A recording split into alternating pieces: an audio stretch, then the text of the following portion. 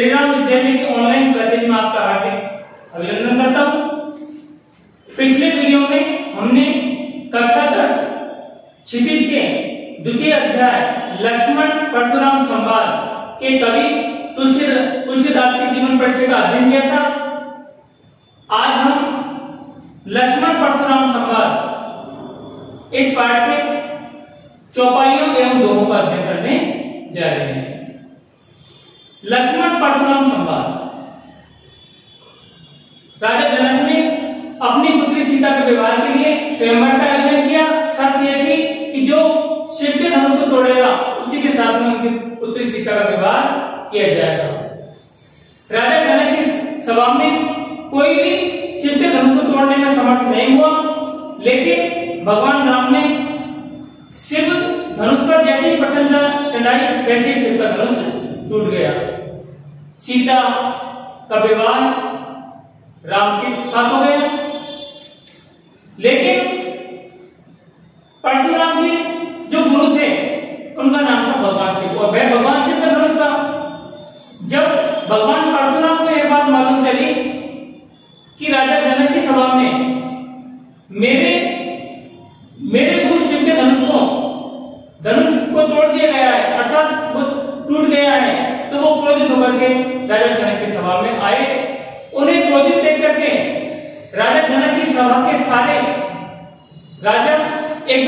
गए क्योंकि वो अत्यंत क्रोधित स्वभाव के थे पर अत्यंत पराक्रमी थे।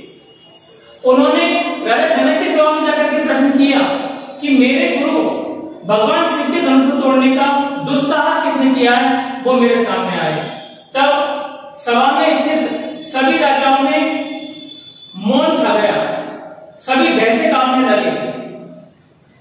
तब भगवान राम हाथ जोड़कर खड़े हुए और कहने नाथ शंभु धनु भंज निहारा हो ई क्यों एक दास हमारा परशुराम को देखकर भगवान राम कहने लगे कि हे नाथ, शिव के धनुष को तोड़ने वाला कोई आपका दास अर्थात सेवक ही होगा।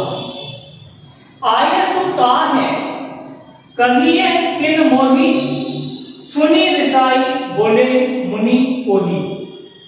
आय सुता है कि कहिए किन मोही, उस सेवक के लिए आपकी क्या आज्ञा है? कहिए किन मोही, आप मुझसे क्यों नहीं कहते? अर्थात जो आज्ञा है वह आप मुझसे कह दीजिए। राम की बात का जवाब देते हुए परशुराम कहने लगे, सेवक सो जो करे सेवकाई अरे, सेवक तो वह होता है, जो सेवा का कार्य करता है। अरि करनी करी करी लड़ाई अरिमय शत्रु और जो दुश्मन जैसा कार्य करे, उसके साथ तो लड़ाई करना ही उचित है। क्यों? कि शिव, जो शिव धनुष है, वो मेरे गुरु का धनुष है तो उसको तोड़ने वाला मेरे लिए दुश्मन के समान ही है। सुनो राम, परशुराम कहने लगे हे राम, सुनो सुनो राम, जिन शिव धनु तोरा सहस बाबू सम सूर्य कुमोरा हे राम, सुनो जिस किसी ने भी सुनो राम सुनो राम जिन शिव धनु तोड़ा हे राम, सुनो, जिस किसी ने भी भगवान शिव के धनुष को तोड़ा है, सहस बाबू सम सूर्य कुमोरा वह राजा सहस्र बाबू के समान मेरा शत्रु है। सो बिल गाओ दिहाई समाजा नेत मारे जैन सब राजा। परशुराम जी, चेतावनी देते हुए कहने लगे कि जिसने भी के धनुष को तोड़ा है, सो बिल गाओ दिहाई समाजा। वह इस राजाओं के समूह से निकल करके बाहर आ जाए। नत मारे जैन सब राजा। नहीं तो सारे के सारे राजा आज मेरे हाथ से मारे जाएँगे।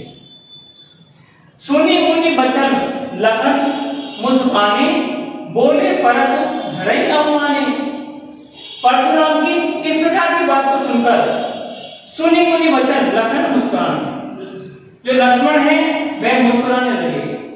और बोले परसु धरई अवमाने और वे कहने लगे कि हे ब्राह्मण देव क्या आपने ये वर्षा दूसरों के अपमान करने के लिए धारण कर रखा है?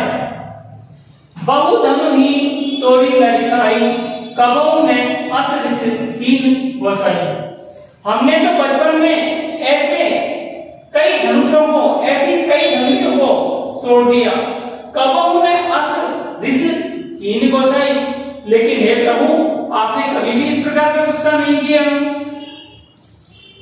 एक धन पर ममता के हेतु इसी धनुष पर आपको इतनी ममता क्यों है? इसी धनुष पर आपका इतना मोह है क्यों है? सुनील साई, कह ब्रह्मकुल केतु लक्ष्मण की बात को सुनकर के ब्रह्मकुल केतु अर्थात परशुराम जी क्रोधित होकर के कहने लगे। रे नभ बालक कालवश बोलत तुरी ने समान। धनु ही सम प्रभु राज धनु विदित सकल संसार। रे नभ बालक कालवश हे बालक नभ बालक माने राजकुमार हे राजा के बालक, हे राजकुमार, ऐसा लगता है कि तू कल के वश में आ गया है।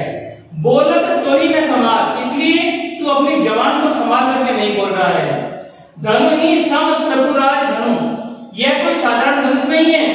यह भगवान शिव का धनुष है और उन्हीं के समान सम्मानीय और पूजा के योग्य है। विदित सकल संसार, इस बात को सारा संसार जानता है।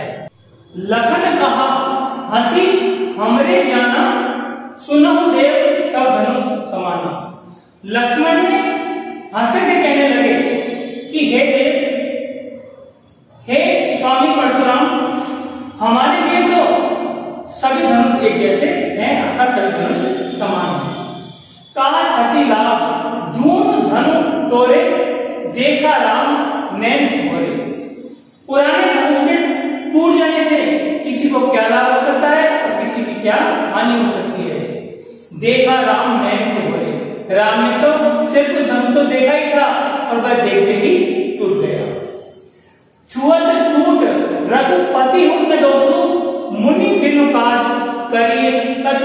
दोस्तों छुअत टूट रघुपति हूँ, मैं दोस्तों, राम ने सिर्फ़ धनुष को छुआ ही था और छूते ही वह धनुष टूट गया।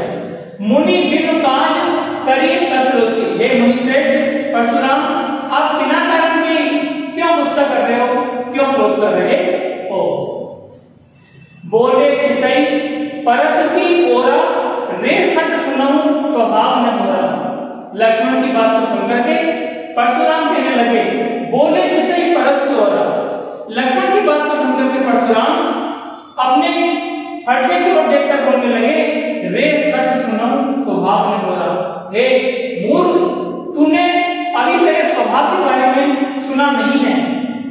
बालक बोल, बोली बधो नहीं तो ही केवल मुनि जाने हुए तू बालक है, यह समझ करके मैं तेरा वध नहीं कर रहा हूँ, तेरी हत्या नहीं कर रहा हूँ।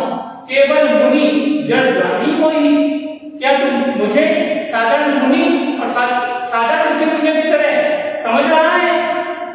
बाल ब्रह्मचारी अति कोई। तू जानता नहीं है कि मैं बाल ब्रह्मचारी हूँ?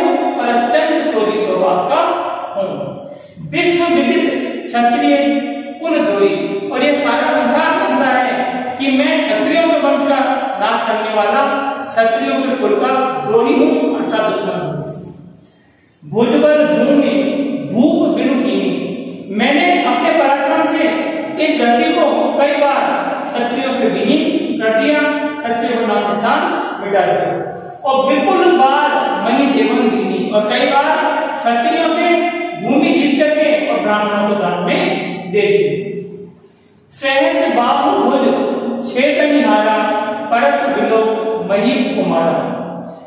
राजा सहस बाहु की हज़ारों भुजाओं को काटने वाले, मेरे हे राजकुमार, मेरे इस खर्चे को ध्यान से देखो। माँ पिताओं किशोरमन राजकुमार। हे राजकुमार, तुम अपने माता पिता के लिए चिंता का कारण मत बनो। ऐसा न हो कि तुम्हारा पद हो जाए और उस बात पर तुम्हारे माता पिता तुम्हारे लिए शोक करे, पश्चाताप करे।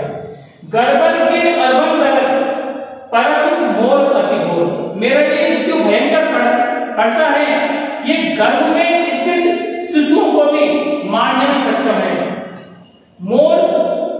मोर, मेरा जो हर्षा है, यह अत्यंत भयंकर विग्रह है।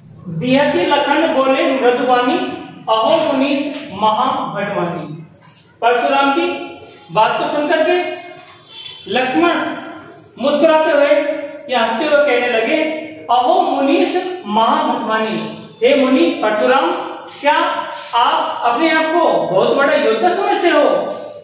पुनि पुनि मोही देखाव कुठारू चहट उड़ावत हूँ की पहाड़ू आप मुझे बार बार अपना हर्षा दिखा रहे हो? ऐसा लगता है कि आप फूक से पहाड़ को उड़ाने का प्रयत्न कर रहे हो या कोशिश कर रहे हो। यहाँ कुम्हड़ बतिया कोई ना हूँ जे तर्जनी देख डर जाए। हम भी क्षत्रिय हैं। कोई कुम्हड़ बतिया अर्थात छुई हुई की तरह नहीं है। जो तर्जनी उंगली देखते ही मुरझा जाए अर्थात आपके डराने से डर जाए देह की कुटार देह की कुठार सरासन बाना, मैं कछु कहा सहित अभिमाना। मैंने आपका फरसा, कंधे पर धनुष और बाण देख करके जो कुछ भी अभिमान पर अभिमान पूर्वक कहा है, उसे क्षमा कीजिए। भ्रभु समझी समुझी जनेऊ की जो कछु कहूँ रोकी आप ऋषि रघु के पुत्र हो, अर्थात ब्राह्मण हो, और आपने जनेऊ धारण कर रखी है। यह देख करके मैं कुछ नहीं कह रहा हूँ, और अपने मन ही मन में अपने गुस्से को रुके हुए हूँ, अपने क्रोध को रुके हुए हूँ। सुर उसका कारण बताया है उन्होंने कि सुर महीसुर हरिचंद अरुगाई, हमरे कुल इन पर ने सुराई। क्यों? कि हमारे क्षत्रिय कुल में, क्षत्रिय वंश में सुर, देवता महीसुर ब्राह्मण, हरिजन, ईश्वर के भक्त और गाय और गाय। हमारे कुल इन पर ने सुनाई। हमारे कुल में, हमारे वंश में इन लोगों पर कभी वीरता का प्रदर्शन नहीं करते हैं। बदे पाप। क्यों? उसका कारण बताया है कि बदे पाप अपकीर्ति हारे क्योंकि इनका वध करने पर, इनकी हत्या करने पर पाप लगता है और अपकीर्ति हारे और इनसे हार जाने पर अपकीर्ति अर्थात निंदा होती है। मारत हूँ पाप परिय तुम्हारे। इसलिए आप यदि मुझे मारोगे, तब भी मैं आपके चरणों को ही पकड़ूँगा, आपके पैर ही पढ़ूँगा कोटि पुलिस सम वचन तुम्हारा, व्यर्थ धर्म धनुबान उठाता। लक्ष्मण कहने लगे कि कोटि पुलिस कोटि मानी करोड़ों पुलिस, यानी वज्र तुम्हारे जो वचन हैं, वो वचन ही करोड़ों वज्र के समान है, अर्थात अत्यंत कठोर है। व्यर्थ धर्म धनु बाण उठा रहा तुमने ये फरसा, धनुष और बाण तो बेकार में धारण कर रखा है। जो बिलो की अनुचित कर्म क्षमो महामुनि धीर, सुनी सरोस भ्रघुवंश मणि बोले गिरा गंभीर जो बिलो की अनुचित काम, अगर आपके धनुष बाण और फरसे को देख करके, मैंने अनुचित अर्थात कुछ गलत कहा है, क्षमो महामुनि जी तो हे महामुनि परशुराम, मेरे अपराध को क्षमा करना।